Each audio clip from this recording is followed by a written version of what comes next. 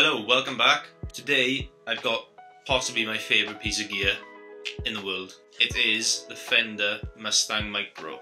So this thing I've taken everywhere. Every gig I've been on I've taken this just in case I need to learn any last minute songs. But primarily this has changed my playing so much. I used to just not play in the house. I only used to play when I was gigging um, or for work and now I play in the house quite often and it's down to this little machine. Headphone amps have always notoriously been pretty naff. This one actually sounds amazing. It's under a hundred pounds and it has multiple features that some don't have. Today I'm not gonna do I'm not doing like a review of it because I think it's a 10 anyway so it doesn't matter.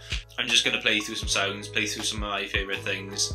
Um, I don't know everything about this either. I've got the manual up so I can have a look to see what sounds are actually there. I would highly recommend if you're practicing in the house. Um, the big deal for me is that you can plug your in-ears into the input jack and you can Bluetooth your audio from elsewhere so you can use your laptop, your phone and if I'm in the house I'll put my phone just had a quick look back at the footage and there was some issues with um, the audio towards the end of that clip.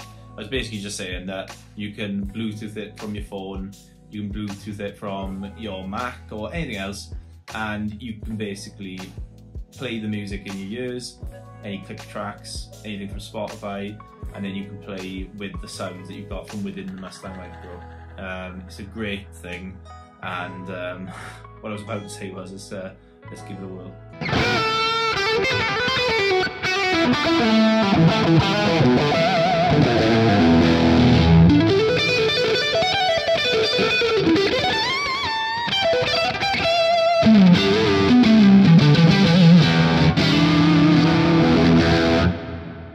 Okay, so the plan is now I'm just going to take a USB-C cable and plug it into the bottom of the Mustang Micro and I'm going to plug that straight into the Mac and run it through Logic to record the audio. It actually acts as a audio interface as well. Uh, you can run it DI and then you can run, run your plugins uh, from your DAW. It's got to be plugged in, obviously. Duh. I've used it like once for this feature as an audio interface, so don't really know what I'm doing. Here we go. Okay, so I've got the manual here. This is a 65 twin and a compressor. I have got a reverb on. What have I got on? Um, a large hall reverb I've got.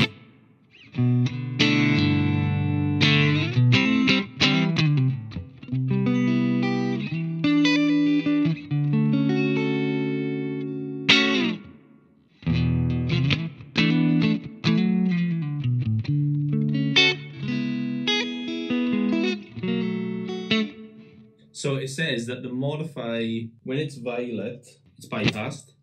Oh, that's cool. I never knew that.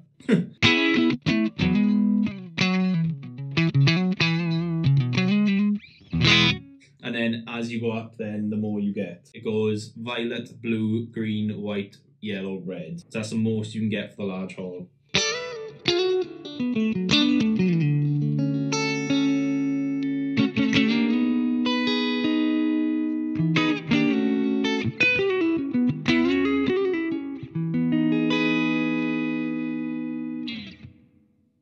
Like that. I'm going to move on to the red amp in my head. It's a 65 Deluxe, no compression. I'll take the hall down a little bit as well.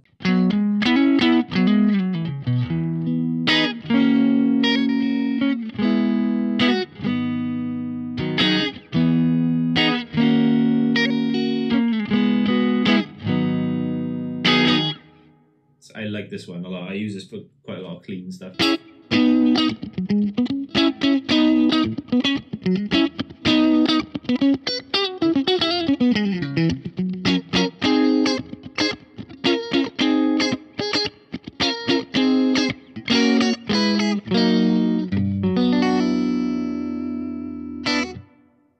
We'll go through the effects after. I'm going to try and just stick with one verb and go through the amps. This is a 57 twin, priced for a clean to dirty versatility. So if I change the EQ on here, it'll if I go more towards the red, I'm guessing it'll break up a bit.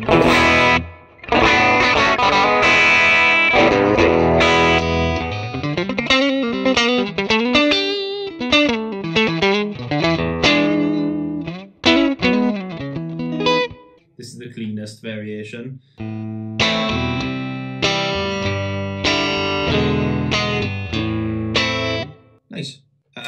Next one is a 60s British, which is a Vox AC30.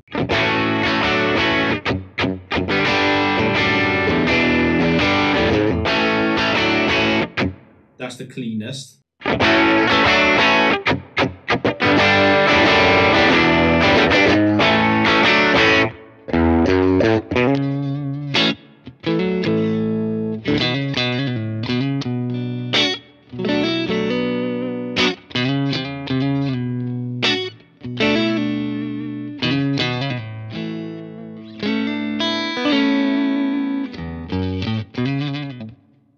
Next one is a 65 Deluxe, but with a tube screamer in front of it. So.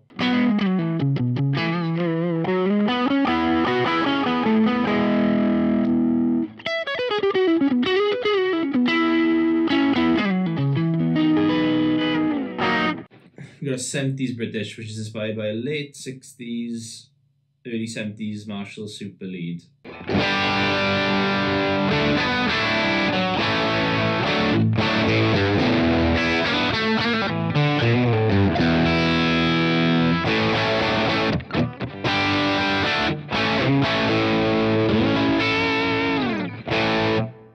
Nice.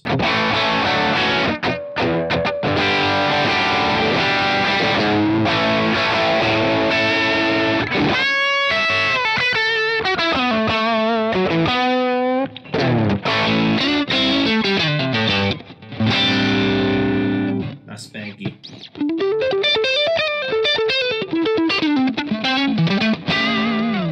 Now we've got Turquoise, which is based on a Mesa dual rectifier, which, oh god. That's the cleanest it goes.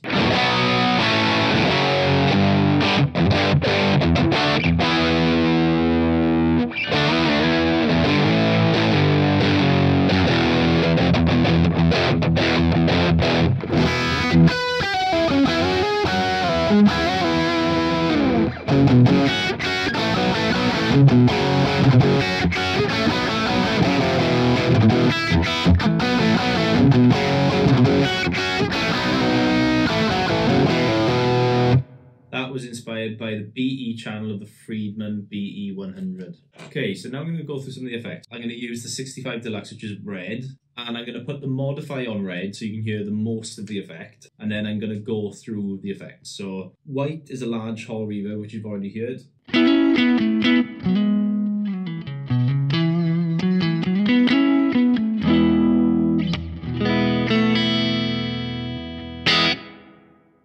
This one is red. It's a 65 spring reverb.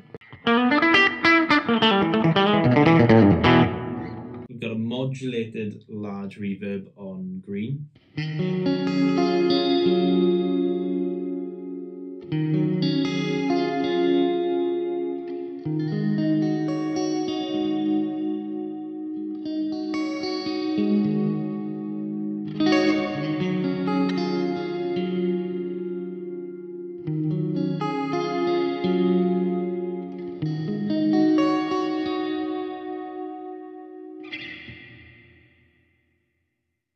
So I'm going to use the 65 Deluxe with the green box OD.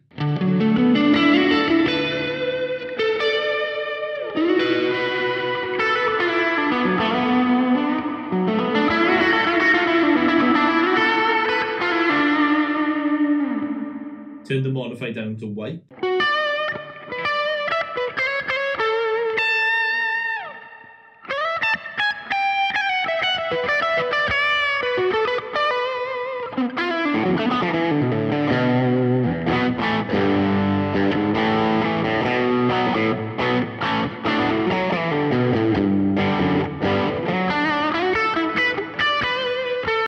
Sine chorus and a large room reverb. This is on its fuller setting.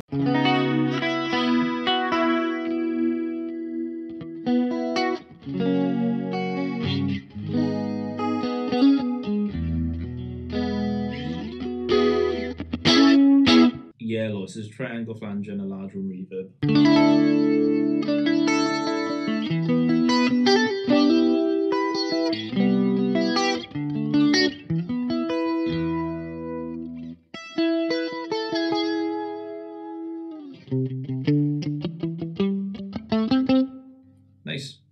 Switch over now to my acoustic so I can give you some acoustic tones through the DI channel that it has.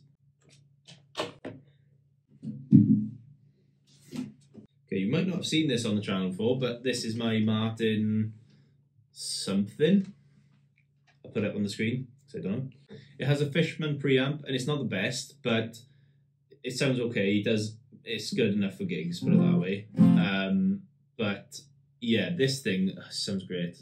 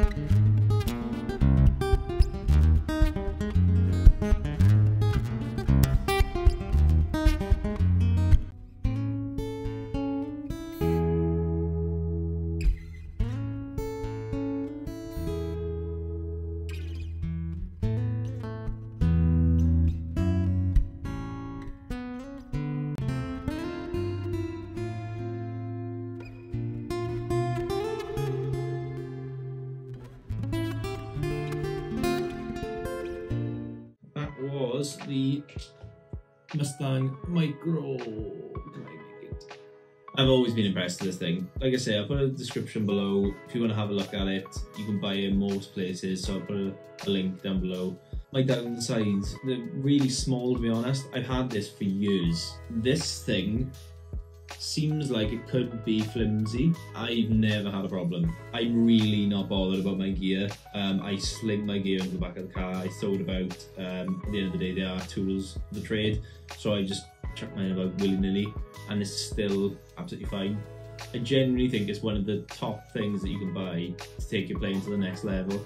Nobody ever wants to have to make a big setup in the house and then pack down afterwards. It's like a 20 minute setup and then a 20 minute pack down. It's not ideal, but this thing has saved me so many times. And if I'm going through songs for gigs coming up, I'll go through them first on here. Anyway, let me know in the comments if you have any experience with the Fender Mustang Micro. I'd love to hear all about it. And if you could like the video and subscribe to the channel, uh, it looks like around about 95% of people aren't subscribed that watch.